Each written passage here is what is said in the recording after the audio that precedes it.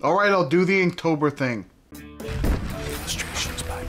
Now, I usually do not like trends or things that are trending. I don't do those kind of things. That's not who I am. But I just so happened that I wanted to draw with some fountain pens. So I'm going to do a drawing with fountain pens and I'm going to use the black brush pen like I usually do. But I'm going to do something a little bit different. I don't know what this is going to end up being, but maybe whatever it ends up being, you can tell me if you want to name it or you want to say what something is. Some of you are good at that. Some of you say, this looks like this, or I want to call it this.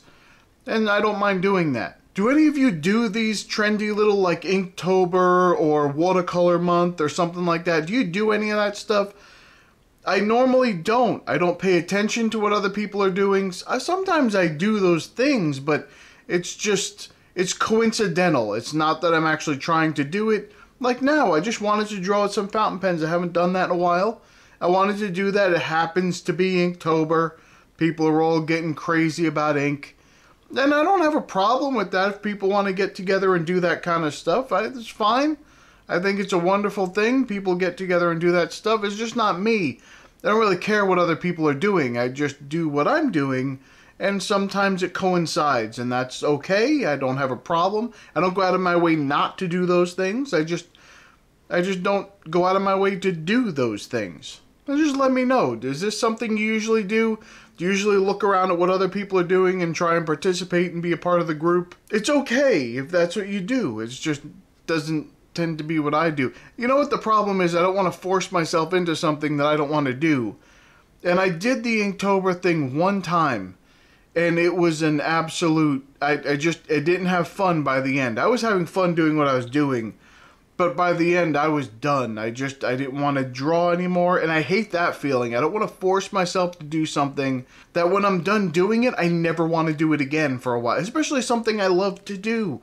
Why would I do something that makes me not like the thing that I like? That's just me. I'm just saying that's that's just me. And then stay till the end if you want to something's happening at the end of the videos. Most of you won't care, some of you will. Some of you will say, oh, that's nice, and some of you will just click off the video. You don't watch the end anyway. Alright, let's get into it. Alright, so I'm not really focused on doing like a landscape or anything like that. I'm not doing a portrait. I'm not doing any of those things. I just wanted to see if I can do some abstract form and then I'm going to add some color. And I've uh, wanted to add some color for a while and one of my favorite inks is that Iroshizuku. It's that Yu-Yaki is the color, which is like a, it's like a sunset, but it's very bright. When you first put it on, it's very dull orange, and then when you go over it again, you add like multiple layers of that ink.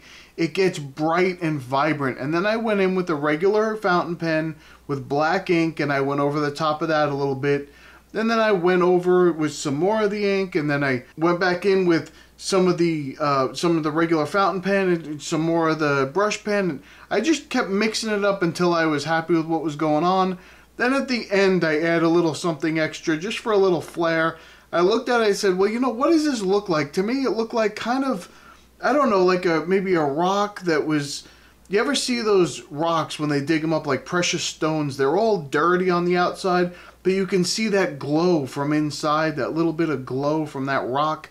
So I was looking in some of that, and I was maybe it's this is what it is, but maybe it's been sitting here for so long and stuff is growing on it. I don't know.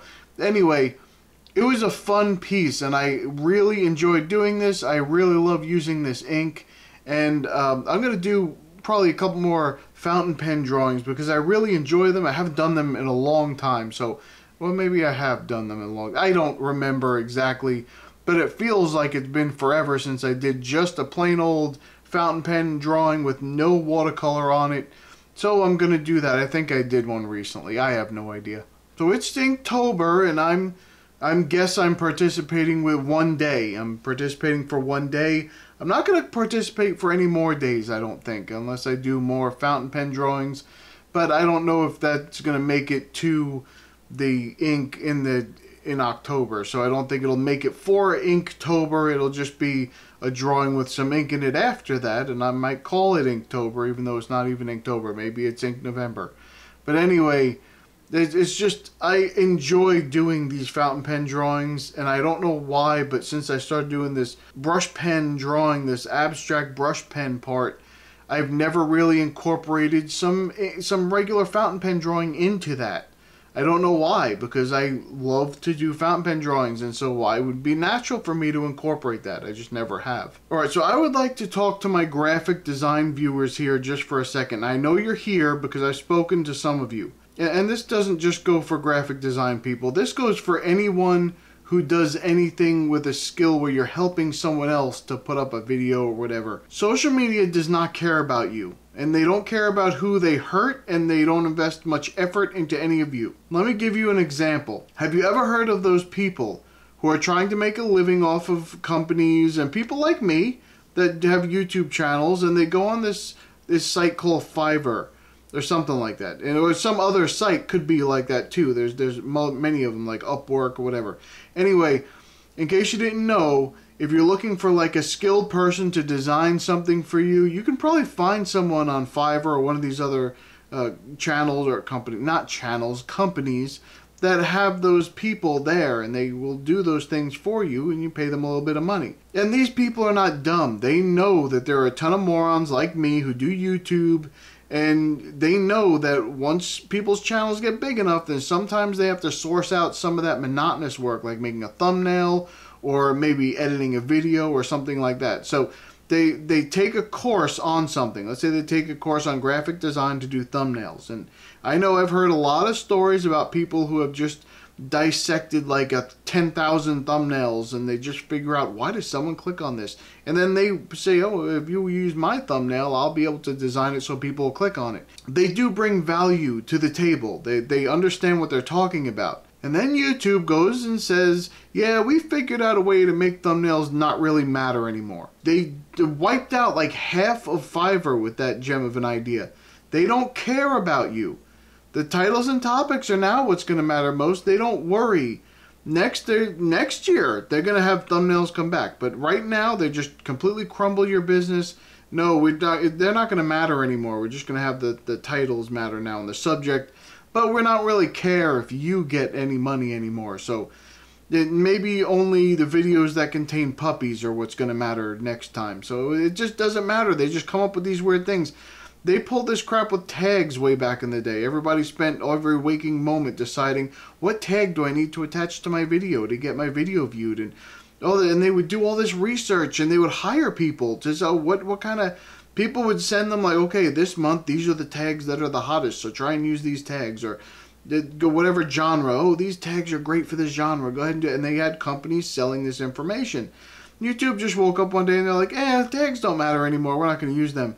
So they, they just screw with everyone. I'm convinced they don't care. They have these board meetings. They're just like, okay, everyone, uh, what was everyone spent most of their time on? What, what are they working on now? Well, let's just make that not obsolete and everyone will go crazy. That's fine. They, they're probably not. I'm not saying that's what they're doing. It just feels that way from our end. Okay, now I've got to mention something else because this is driving me crazy too. I'm going around YouTube and I see all these podcasts. Now, a lot of people have podcasts. And some of the most famous podcast people, I'm not picking on anyone, but I'm just just hear me out here for a second. So there'll be a guy on the podcast and they're they're saying something that sounds like it, it's it's obviously not true, but it doesn't matter. The the person and they have nothing in front of them, so that they say something like, um, "Oh, uh, thirty thousand years ago, there were aliens that came down and they they spilled their sweat on a." fern and the fern dripped on the ground and all of a sudden there were people that came out of it and that's how people developed and all this stuff. And these podcasts they're like oh wow! How come nobody's talking about this? How come nobody mentions anything like this? Wow that, that's not interesting what what did he say to prove anything he just said nothing he just said something outlandish and all of a sudden oh, that must be how it is then, because he said something outlandish, and he said that he figured it out. So it must be true. They push this kind of crap all the time, and then then you hear it at work. You go to work, or you go out in public, and you go to the store, wherever you're talking to people, And then they say something stupid. Like, Did you hear about the thirty thousand years ago with the alien sweat? That's, no, you can't really believe everything that person just said. You can't. That I don't want to. That's impossible. It's, you cannot believe that. And uh, yeah, yeah, it's, I think it really happened. I saw it on in, on the History Channel. The History Channel is garbage. There's nothing nothing history about the History Channel. They used to cover like wars and political things, like the the changing of governments in different uh, countries at different times, and this cover this war, and then they they would cover something else that happened, Industrial Revolution or the French Revolution or whatever they covered but it used to have it was based in history. Now it's like oh this these people over here say that they saw a man up in a tree. That must be an alien. And they these people over here said that they keep a pet dinosaur in their backyard. And so they must have one. So it's not it's not real anymore. It's just all entertainment television. They realize because listen let's be honest. They understand what gets the views. People want to hear outlandish things and believe outlandish things, so that's what they do. And I'm not saying that everything that you hear that seems outlandish is wrong. I'm not saying that. There are some conspiracies that have been proven to be correct.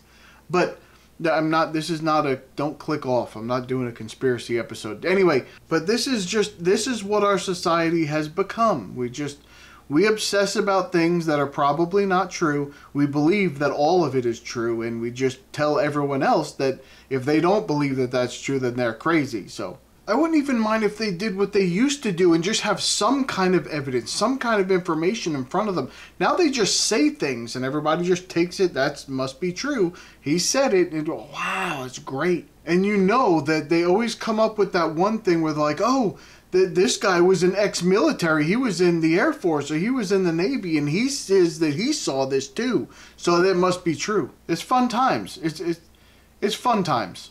That's just I I that's my favorite.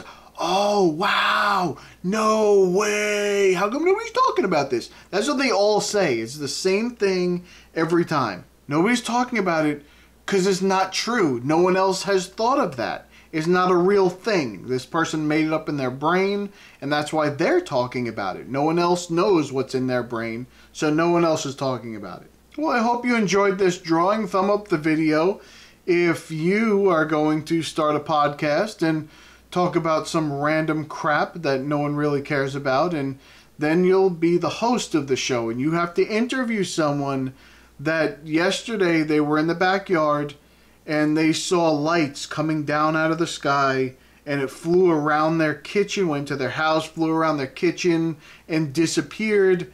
And now you have to make up some kind of theory of what that thing was. Maybe it was a ghost, maybe it was aliens, maybe it was, I don't know, maybe you can see into the fourth dimension. I don't know. You have to make up that story, but you're going to do that now. And so you let me know when that airs. I'll watch it. I have no problem with that. And then I'll go on this show and I'll say, oh, wow, no way. How come nobody's talking about this? And I'll do that for you. I, I promise I'll do that. And now, as promised, here's something a little bit different. Look at this guy. He's just hanging out. I know the footage is terrible, it's noisy, it's horrible, but look at him. He was cute. He's out in the park. He's just having a good time. I think he has a little bit of mange behind his front right paw there, but he looks pretty good. He's he's doing all right. He's not too bad, and he uh, he it was fun. It was just I'm trying to learn the camera a little bit more and get some more footage outside, but this was definitely some terrible footage. I, I didn't really have. I didn't really know what I was doing, so nothing. None of the settings are correct, and I'm still trying to learn that. But look, I just I saw him. I said, wait a minute, let me just get a little picture of this guy because he's having a little bit of fun. There's there's a, a rear end shot. When just go past this part. This is fine. But he's he's a cute little guy. Anyway, I'm gonna get outside a little bit more and do a little bit more work out there and do a little bit more uh, videos out there. Oh yeah, he's really messed up on behind that front leg.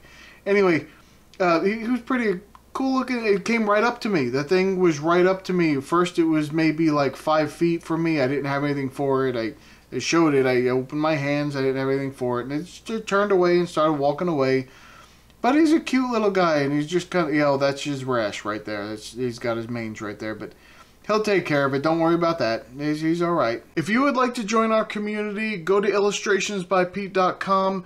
You can come in, you can put your own artwork on the site and promote it. You can find some inspiration in the free reference photos. You can just use them however you want in your artwork. You do not need to credit me. Or you can come into the forums and talk to some people and maybe give some advice and maybe find a little bit of information that helps you. So come check us out. All right, that's about it for me. I'm going to go. I'll see you in the next one. Bye.